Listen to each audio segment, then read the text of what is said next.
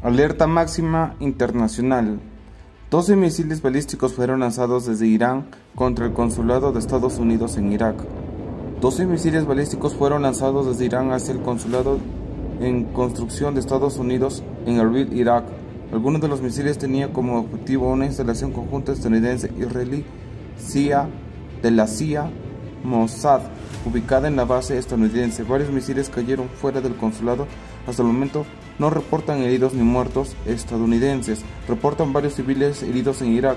Estados Unidos e Irak condenan este ataque de Irán por daños en el canal de televisión de Irak que también fue que también fue afectado por estos misiles.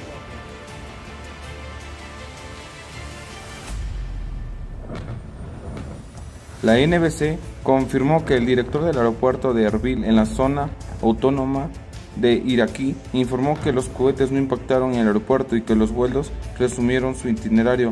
La agencia estatal indicó que un funcionario de salud local confirmó que no hubo víctimas ni heridos después de las explosiones de Erbil. Hasta ahora las fuerzas de seguridad iraquíes dicen que al menos seis misiles fueron disparados contra el consulado de Estados Unidos en la ciudad de Irbil, en el norte de Irak, y varios misiles alcanzaron el edificio. Los funcionarios dijeron que no hubo informes inmediatos de víctimas por el ataque de que ocurrió, ocurrió y causó daños materiales en área.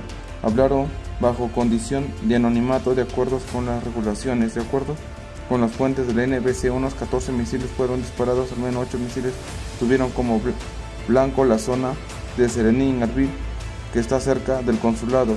Uno de los cohetes alcanzó la estación de televisión K-24 que también resultó afectada. Algunos también impactaron en Aidir, donde hay una base militar de la coalición y una pista de aterrizaje. También se escucharon explosiones. El gobernador Erbil dice que no está seguro si el objetivo era el aeropuerto internacional o el consulado estadounidense. Todavía no saben los lugares fueron atacados en Alabajaj. Los cohetes pretendrían haber apuntado a Erbil, que estaba a solo 45 comillas de posesiones de las milicias iraníes, pero cualquier cosa a apuntar es tendría que haber tenido una distancia muy larga.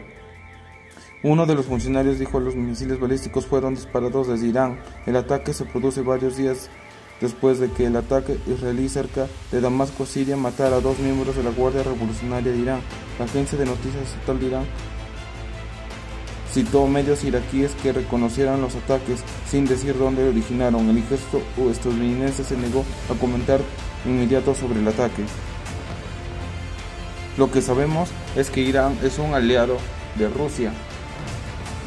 Y esperemos que esto no encienda el fósforo para que Estados Unidos y Rusia inicien la Tercera Guerra Mundial, que sería lo próximo a venir.